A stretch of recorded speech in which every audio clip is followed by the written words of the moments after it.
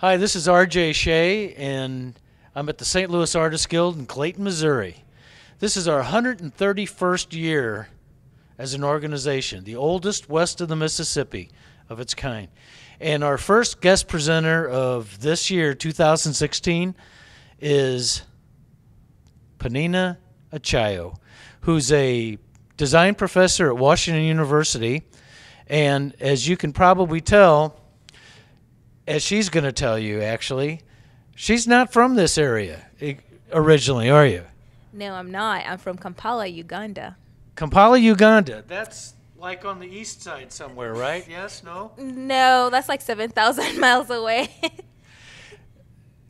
Penina's uh, presentation tonight was fascinating. I had met her once before and felt compelled to have her come and speak with us if she was kind enough, which she was tonight. And her story is fascinating because here's a woman that was born in Uganda and wound up here at a major university in St. Louis, Missouri, uh, teaching design. But it's more fascinating about the type of design that I think that you're involved in. Why don't you explain to us what you do? So, the kind of design work that I strive to do is one that is centered around social issues, um, but most importantly, I'm very interested in navigating um, opportunities for design based solutions in a developing context. So, what is the role that design can play in a developing context? Um, so, some, some people might say it's service design or social innovation or socially conscious design or social good, whatever you want to call it. Um, whatever that kind of work is that requires me to, to work with people dealing with complex situations is a kind of work that I strive to do. The one of the things that you showed us tonight was a project in which you went back to uh, Kenya, actually, correct? And you were trying, you were working with an organization trying to come up with uh, icons, iconography, uh, visual communication for people, doctors as well as people living within the country, to understand visualization on how to deal with uh, controlling malaria, correct? Correct. Correct, yes. So that's a project that um, I collaborated with a couple of colleagues of mine, as well as a design firm in Chicago called Rule 29, who were working in conjunction with an organization called Life in Abundance that is actually doing the bulk of the work in Kibera, Kenya. And so we were tasked with coming up with creative tools that are graphic in nature, more iconographic in nature, that would really help with um, communicating the spread, the symptoms, the cause of malaria to a, a population that you would probably um, that is very visually literate, but as far as um, uh, written or reading, that is limited. Um, so the, the the tools that we came up with were meant to sort of serve a visual purpose that they would communicate in a visual way without us needing text, if possible. One of the problems that you ran into, of course, was that things that we take for granted icons, various types of visualizations of, of objects or, or activities which we understand wasn't easily understood in the, another country.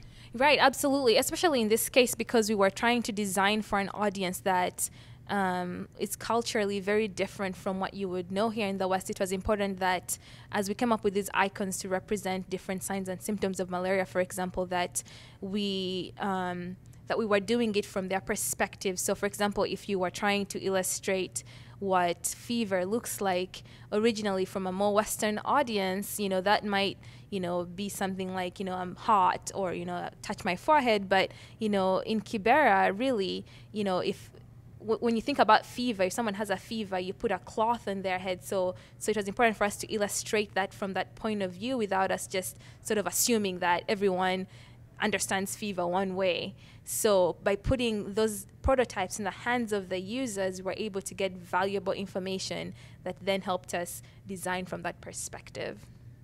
Plus, you have millions of people you're trying to appeal to and communicate with, and at the same time, you have a, a language barrier in many cases, correct? Because the diversification of peoples and languages is tremendous there. Yes, so it's it's very important too, especially um, in looking at even just East Africa, whereas that which is where I do a lot of the work that I do. um, you're, you're dealing with a group of people, me inclusive, that um, that, that speak so many languages. So, for example, in Uganda, we have over 50 different tribes who, uh, you know, speak different languages. And so, despite the fact that, yes, on paper, English is the official language, it's important not to take it for granted that everyone speaks English or knows how to read and write in English. Um, so, it's important that, you know, you sort of find ways to navigate some of those barriers, which can only be sort of overcome by you being on ground or finding ways to get whatever you're designing into the hands of the users. So you could sort of figure out how to navigate that. So that was really a challenge. But um, again, that is why the icons that we designed hopefully were able to communicate visually without needing text. That was the biggest challenge. And you ran through a number of different variations of this till you got to something that people all understood and, and told you that they did so, correct? Absolutely. I th- you know, this is a project that took um, probably a span of a year um, and even more. Um, that just involved us coming up with a bunch of iterations because again we were designing back here in the US and anytime we were able to get those prototypes to the hands of the users then you know we get that feedback and then come back and work on them again and just like any designer or artist works, you know, it's all about iterating and iterating. So you learn, you iterate, you try again, and you keep testing until you come up with a solution that communicates. That's what we do. We try to communicate. So if you can communicate something clearly to your audience, then I feel like you've done your job. And what kind of su- success do you have you seen as a result of what you've done in the last couple years, or is this going to take much much longer to to uh, to finish out? Yeah, you know, again, you know, anytime you define, I think I think the first piece of success we had was coming up with a a, a body of work that uh, was usable in the field. That yes, doctors and uh, clinical workers were like, this is as close as you know we hoped for it to be. So that was one um, sort of phase of success for us. And then I think the next one is one that is ongoing, that is coming with um, this being in the field more, and then starting to understand um, sort of if, if the numbers of people you know being you know infected with malaria or getting treatment if there's now, if we see changes in some of those numbers hopefully based on some of the things uh, we came up with then that will be success. But that's something that is ongoing that is going to take time to collect the data. Is there ever are you going to uh, continue this process with the the whole malaria uh, icons and, and information graphics or are you going because there's a lot of other diseases that are right. that need to be tackled as well correct absolutely i think i think even beyond just malaria even beyond just diseases i think another big sort of um, area that I'm very interested in is the area of hygiene and sanitation. And I know there's been a lot of groups that have tackled that, uh, but I know, like for me now in Uganda, because it's where I, I get to do mo- most of my work over the summer, um, being able to work with teachers and young young students in schools and seeing how they would um, communicate some of the issues around hygiene or how do we get like young people to get into a habit of having good practices. So I think for me that's where right now I'm sort of maybe focusing as far as that body of work. But yes, there are many diseases, and I would love to. T- one of actually thought about doing something with Ebola not too long ago. But um, I think if the opportunity arises, I would love to try other diseases. That sounds compelling.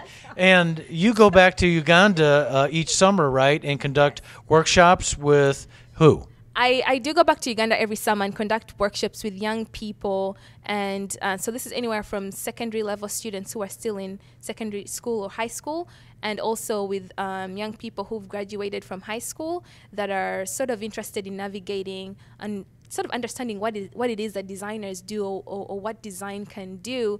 And so I, I, I, run small workshops with them and sort of share some of the practices and the processes that we use as designers in the hope in the hope of us together sort of forging an identity of of, of, graphic design that is Ugandan, something that we can look at with pride, but also sort of share with the rest of the world because we are very rich in terms of cultures, and again, 50 tribes with you know different sort of practices and symbols and totems. There's so much we can offer. So I think um, through these workshops, I'm hope, hoping over time that we will come up with a body of work that we can. Uh, share with the rest of the world and say, hey, this is something that has come out of Uganda that is Ugandan.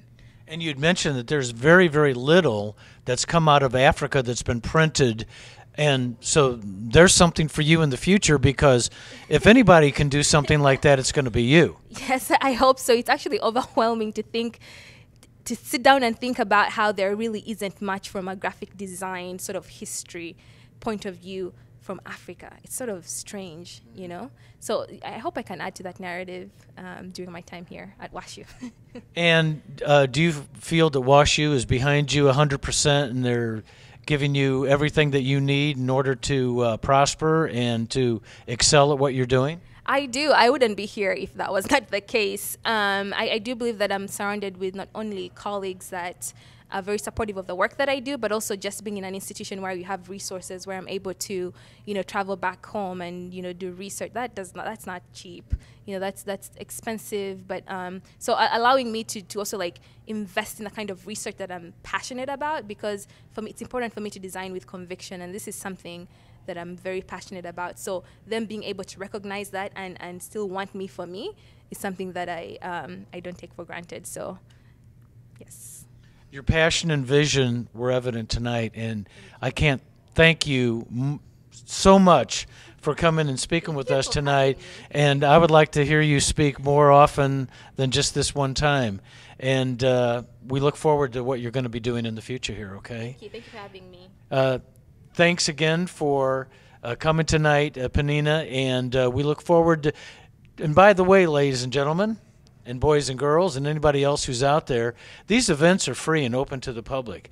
And if you're not here, too bad, so sad, because these are wonderful events. And we'd like you to come. We're going to have another event in February, second Tuesday of each month. We have a guest presenter, and we look forward to seeing you then. This is RJ and Penina signing out from Clayton, Missouri. Good night.